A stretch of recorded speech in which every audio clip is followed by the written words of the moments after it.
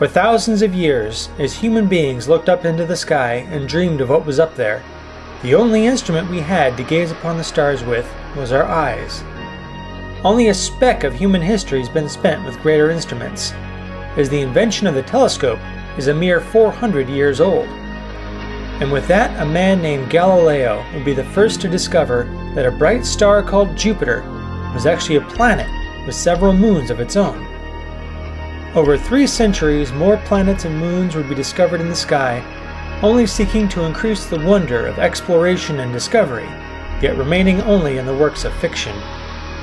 It would not be until 1923 that the idea of spaceflight was given serious consideration, and 23 years after that, an astronomer named Lyman Spitzer would finally publish a paper called Astronomical Advantages of an Extraterrestrial Observatory, in which the idea was not only spaceflight, but positioning a telescope into space to get a greater view unimpeded by the refraction of Earth's atmosphere. Even further, a space based telescope could observe objects in the infrared and ultraviolet, the wavelengths of which are generally absorbed by the Earth's atmosphere before even reaching the lens of a ground based telescope. When the age of spaceflight began in the late 1950s, the idea of placing a telescope into orbit was given greater support as data collecting instruments were already proving invaluable in identifying and cataloging the newly discovered Van Allen radiation belts, as well as giving a more detailed picture of the composition of Earth's upper atmosphere, as well as the solar effects upon it.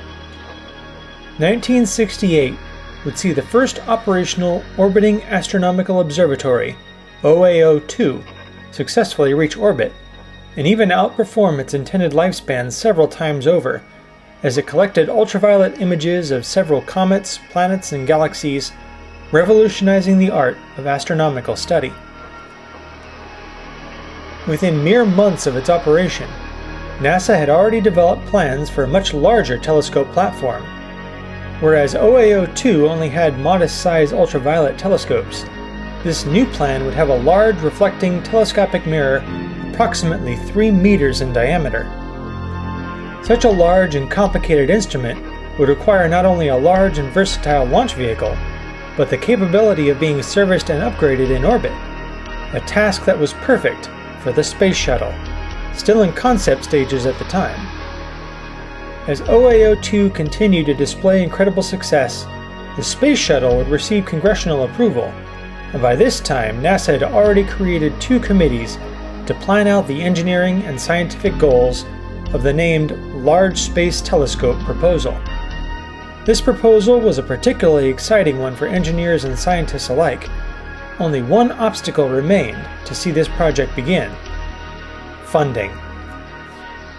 As the proposal was brought before Congress, the excitement quickly faded, as politicians did not quite see things the same way, and not only refusing to approve the proposed development budget, but even cutting back the budget for its planning stages, as they felt too much time and attention was being spent on the detailed studies NASA was making on potential instruments and hardware. Worse, in 1974, the budget was cut to a further degree, and all telescope project funding was removed. Indeed, numerous NASA projects were rejected as the days of Apollo came to an end. The only thing that was allowed to continue was development on the Space Shuttle, and even that on the condition that it met requirements for Department of Defense payloads and could be commissioned for national security purposes if needed. A fierce lobbying and letter writing campaign by the scientific and astronomical community began, many of whom meeting with senators and congressmen in person, and many reports published, all emphasizing the importance, in fact, need, of a space based telescopic platform. When Congress finally agreed in 1978, NASA was given only half the budget it originally asked for. There was no choice but to scale the project down. Gone was the additional half size telescope intended to be a test vehicle for the hardware and systems.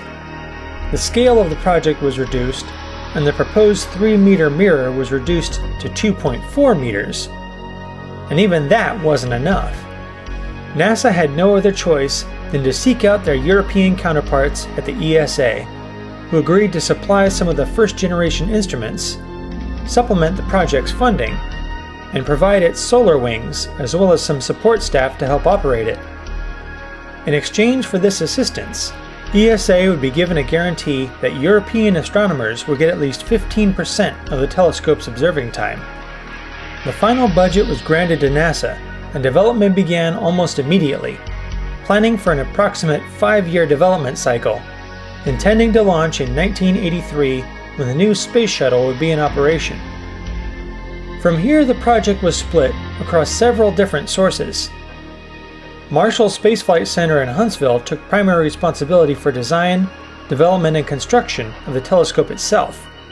The optics company Perkin-Elmer was commissioned to design and build the optical telescope assembly and the telescope's fine guidance sensors. Goddard Space Flight Center took overall control of the scientific instruments, as well as the ground control center for the telescope mission. And finally, Lockheed would design and develop the spacecraft, in which the telescope would be mounted into, and integrate the two together. Indeed, Lockheed's job was a major engineering challenge. They had some experience with the Agena target vehicle during Project Gemini, in which they would develop a craft intended to work with another craft of another contractor. But this was far more sensitive equipment operating continuously in harsh extremes of space. While most craft would shield themselves from direct sun exposure, this telescope would be expected to function in prolonged periods of direct contact, and occasionally even observe the sun itself. But their efforts weren't nearly as problematic as Perkin-Elmer's, as the optical assembly began to fall behind schedule and over budget to the point where NASA began questioning the company's managerial structure. As the expected completion time in 1981 slipped by, NASA had no choice but to push the intended launch date back into 1984. In an effort to save costs, NASA ordered a halt on development of the backup mirror, and even as the main mirror was completed, doubts remained about Perkin-Elmer's competence as the assembly itself continued to slip further behind schedule and at a continuously inflating budget. NASA ordered another launch delay, now reaching mid 1985. Lockheed wasn't spared from the budget inflation, as the containment vehicle fell into troubled developments as well, pushing 30% over budget and three months behind schedule, but this was nothing compared to Perkin-Elmer. Each quarter, they fell another month behind schedule, and some occasions even complete schedule pushbacks of a day per each day of work. NASA's frustration was reaching the boiling point as the launch date finally got pushed again to spring of 1986 and then to the fall, their total budget pushing over a billion dollars. But it seemed the delays were finally at an end. Construction and installation was back on track and this large telescopic device would receive a name. Dedicated to the astronomer who made the breakthrough discovery that the universe was indeed expanding, his name would forever be immortalized with the Hubble Space Telescope. Hubble was placed into flight rotation and expected to launch aboard the Space Shuttle Atlantis in planned mission STS 61J, which would see NASA's most experienced astronaut, John Young, veteran of two Gemini flights, two Apollo flights, and two shuttle flights, as its commander. The planned launch date of October was even given some headway, allowing Hubble to possibly fly as early as August. Things were starting to look up until one devastating event brought the entire space program to a screeching halt. That fateful morning in January 1986, in which seven astronauts lost their lives aboard the Space Shuttle Challenger. It would take nearly two and a half years before the shuttle could fly again. Hubble itself had to be stored in the clean room and kept powered up and purged with nitrogen, awaiting an opportunity for flight and deployment. And all this cost even further inflations to its budget, as this storage cost nearly $6 million per month to maintain. Though this did give engineers a chance to further test and develop its hardware, replacing a battery that had proven prone to failure and developing the ground control software that wouldn't have been ready by 1986 anyway. By the time the shuttle resumed operation in 1988, Hubble wouldn't fit back in a rotation until 1990, and its costs skyrocketed. having began from an original total estimated cost of 400 million, finally reaching an overwhelming 2.5 billion by the time of deployment, over 500% its initial plan. Is it any wonder NASA likes to overestimate its budget proposals? Finally, the delays were over. The pushbacks were at an end, and the telescope that took everything NASA could muster just to authorize now sat in the payload bay of the Space Shuttle Discovery, set for mission STS 31, and ready for launch on April 24, 1990. John Young unfortunately would not make his seventh flight, as he was reassigned to an administrative position two years earlier. Even so, its five person crew consisted entirely of spaceflight veterans, every one of whom having flown a space shuttle before. And this was no ordinary shuttle mission. For Hubble to function properly on its mission, it needed to be at a significant altitude to avoid the atmospheric effects from below, not only with regards to orbital degradation, but interference with its optics. The problem the shuttle was essentially, at its core, a glorified freight truck, and only capable of reaching so high. In this, Discovery would set a record as she reached 600 kilometers 370 miles above the surface of the Earth. Discovery opened her payload bay, and the pricey vehicle was revealed tucked inside. With the help of the Canadarm remote manipulator system, Hubble was pulled free of its berth and was prepared for deployment. But before she could let go, ground control signaled for its solar arrays to deploy, one of which refused to properly unfold. Ground controllers scrambled for a way to retrigger deployment remotely. Meanwhile, Bruce McCandless and Kathy Sullivan suited up in the airlock and prepared for an emergency EVA to physically pull the panels open if necessary. The two waited in the partially decompressed airlock for almost two and a half hours, ready to go at a moment's notice, until finally, NASA's final command had worked, and the panel finally fully unreeled on its own. There was little time left before the deployment window approached, and finally, the Space Telescope was released to operate on its own, slowly drifting away from its shuttle orbiter, peaked at the very edge of its operational limits.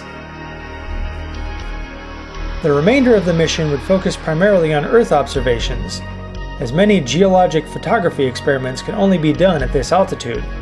But also, a pair of IMAX cameras were brought on board to film portions of a documentary called Destiny in Space, finally released in 1994, narrated by the legendary Leonard Nimoy. From this high altitude, Discovery would nearly completely exhaust its propellant, as it required a nearly 5 minute long deorbit burn to return to Earth, leaving few, if any, options if the burn could not be completed. Still, the mission was a success, and the crew returned to Earth safely, leaving in orbit one of the biggest pieces of NASA's legacy for decades to come. Hubble itself would make history in many ways. From its troubled beginnings, as a flaw in its mirror resulted in blurred images, and a reputation of failure and embarrassment across the country, to its eventual repair in one of the greatest engineering accomplishments in manned spaceflight and some of the most exquisite images ever captured on film. Hubble remains in useful operation to this very day, expected to remain in orbit as far as the mid to late 2030s, even as its eventual successor takes over its duties. There is so much to Hubble, what it has accomplished, and what it has meant to astronomy as well as NASA. But those are stories for another time, as the effort to fix its flawed mirror was a great adventure in itself. Look forward to that story in December as we follow the shuttle Endeavour in mission STS 61. For now, we celebrate the incredible accomplishment of putting into orbit the most famous, versatile, and in fact expensive space telescopic observatory of the century. Its trials, tribulations, and triumphs, all shaping its incredible legacy. A legacy that began this week in space history.